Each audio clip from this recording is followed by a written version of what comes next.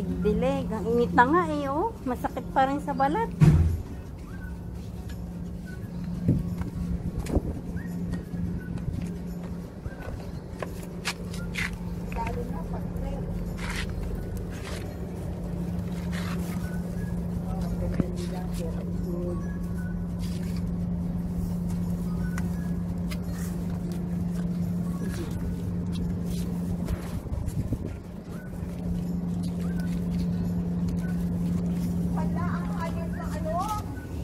Ay, pusa, nandyan. Pisa na, mag-umpisa na naman siya. Nag-umpisa na naman siya ng ano.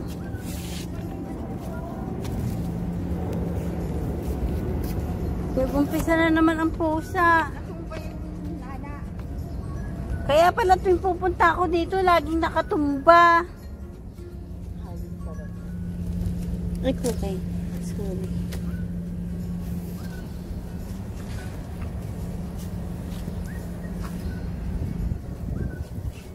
Kanya na yung ano. Tingin ko to yung sili. Oo. Hayop yun. Alam ko yan o. Yan o. Yung mga naglalabasa na ulit.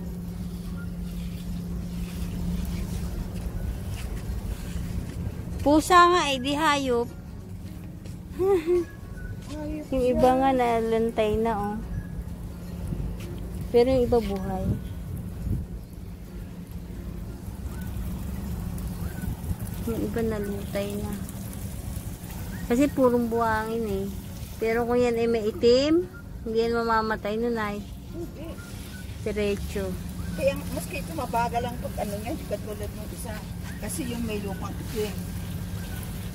Pero yun yung mga tumpok na yun, buhay pa din kasi may itim yan eh. May itim na pataba.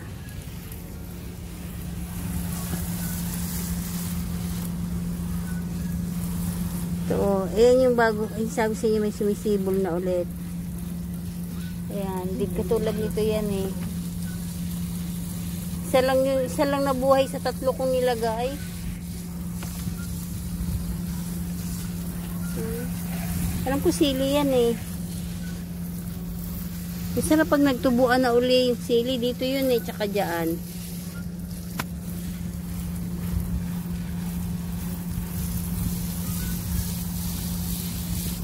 Ginawa na namang tambayan dito ng Ayan, pusa. ka, ano, yung, ano, kangkong.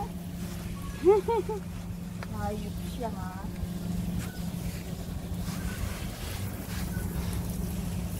Dito pa sa may kamatis ko.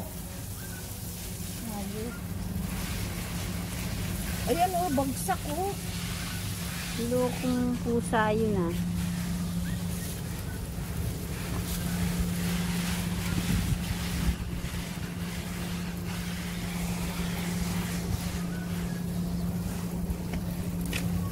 Wala lumamayang hapon nito nanay no, ang init.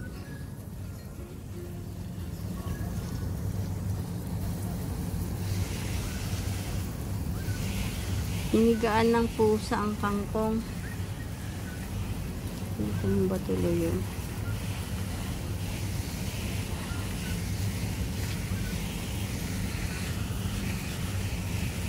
Baka yung iba dyan, may bunga na ng kamote eh.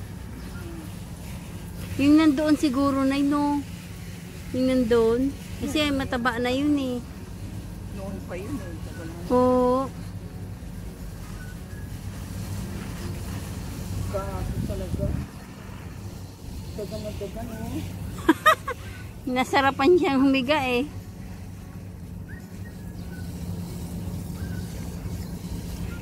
Tumbay oh.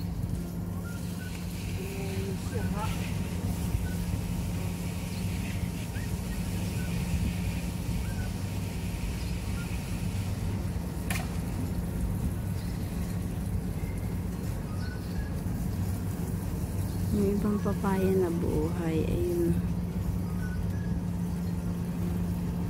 Yan yung iba paano matay na.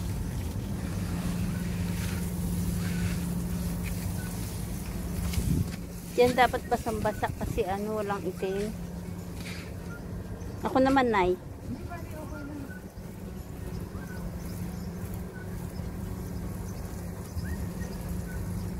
Kasi ano siya dyan eh, talagang purong buhangin siya. Hindi siya...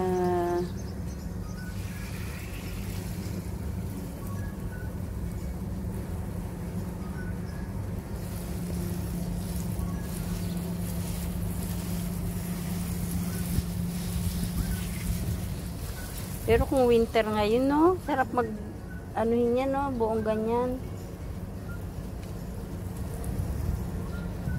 Hanggang doon, ano yun natin natin tayo. Mm. Tanggalan natin ang gamot. Para saan ba yung hose na yan? May tubig. Yan dito Para sa sa tatlong, ayan, itong tatlong puno. Ngayon nga umaandar eh, oh. Diyan Ano sa hose, yun, oh? diyan nakalagay sa hose na yan. Etong hose na ito, kung ilalagay lang doon, Putol-putol na daw yan kasi nga daming leak, hindi daw, kaya wala na yan doon sa ano.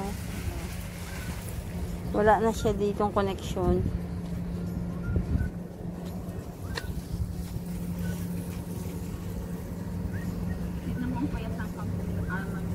Dito kasi nga po wala, purong buhangin dun eh. Pero at least buhay. Nabuhay pa rin siya. Yung papaya nga buhay pero parang malungkot. Hindi katulad pag dito oh, ang tataba pa din.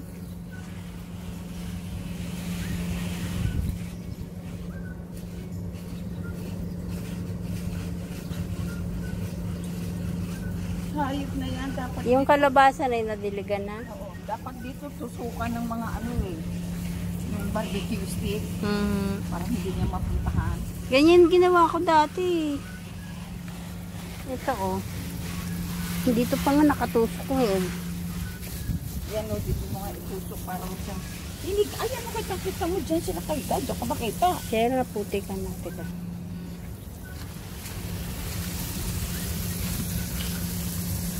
Yan. Opo. Tutumba na. Natumba talaga.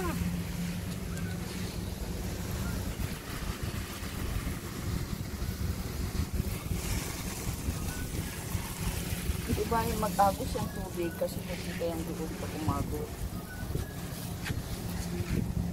Ang palayangan, hindi ko na sila tatanggalan ng dahil. Sa biyernes na mag-ano.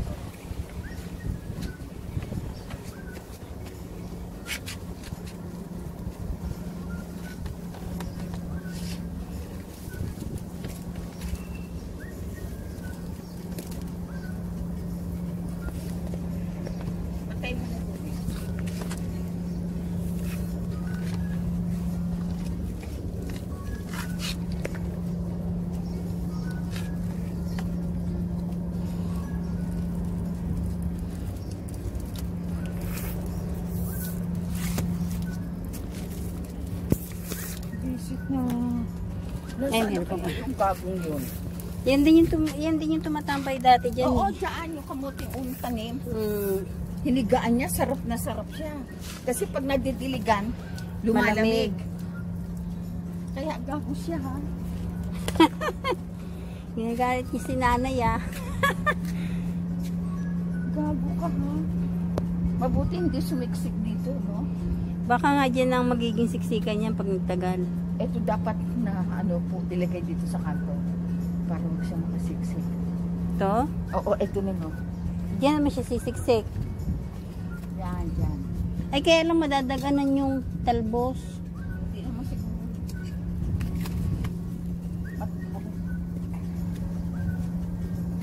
Madadaganan na. Ha? Tatapakan niya. May tanim, may, may tanim dito eh. Lulusot din niya Pusag kong konti. Nako, yan? Yan. Kanina abot eh. Okay na.